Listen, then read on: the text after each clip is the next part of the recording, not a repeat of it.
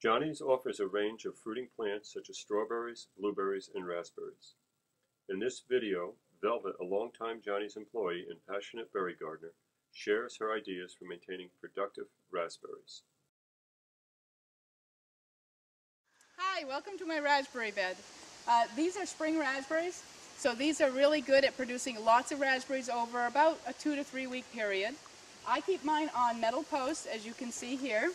And what this does for me is the wire that we have strung allows me to sort every year the, the old canes, which will be um, cut off in the spring, that are on the clips, out of the bed. And then all the new canes that are coming up in the middle, nice healthy young things that'll grow this year, in the spring after I cut out the old canes, I will pull them forward and put these on these clips.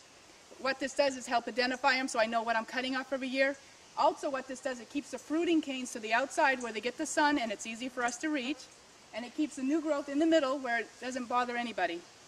The other really good thing about this bed is that I'm using edging, lawn edging, to keep the grass from growing into it. Now raspberries like to have really dry, airy feet. So you don't want to put any mulch on this. You want to leave it open so that they can cultivate, get lots of air.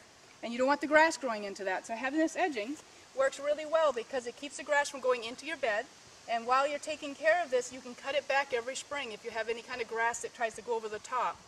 The other neat thing, if you leave yourself enough room, and you will be tempted to let the raspberries take off, but don't let that happen. You need to take the mower and mow the edge of this bed to keep it maintained like I do.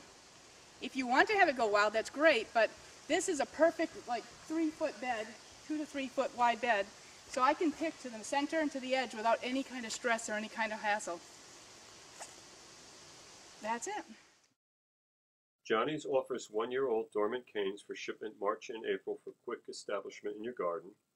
Each variety offers tasty berries with dependable winter hardiness. Full planting and growing instructions are included with each order. For a complete list of Johnny's certified virus-free berry varieties, see our catalog or visit johnnyseeds.com.